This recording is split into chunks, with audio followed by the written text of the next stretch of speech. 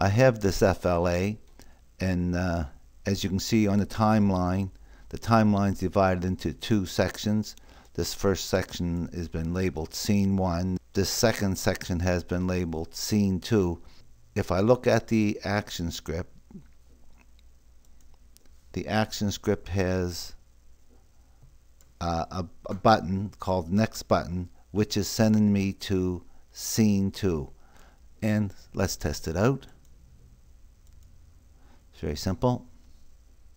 If I click on this, something appears up here. When I click on this, something will appear here, and I'll get this next button.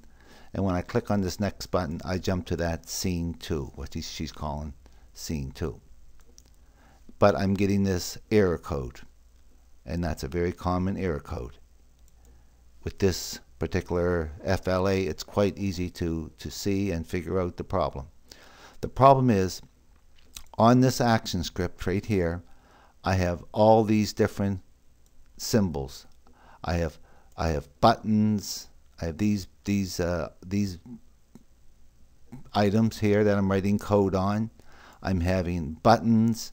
This next button, this button A, this button B, and even though the code is written here, and I have new code here, this code is still looking for those objects and those buttons. So what you got to do is bring them back in here.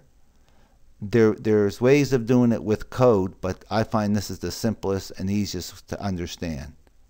So I'm going to make my stage 25%. I'm going to click here and here and remove these frames. Completely remove them. I'm going to click here and here, insert keyframes. Now I'm locking all the layers. Unlock these two layers. Come up here on the stage anywhere, right click, select all. So I'm selecting everything that's on these two layers. That's the buttons and all this stuff. I'm getting that cross here and I'm dragging it off the stage.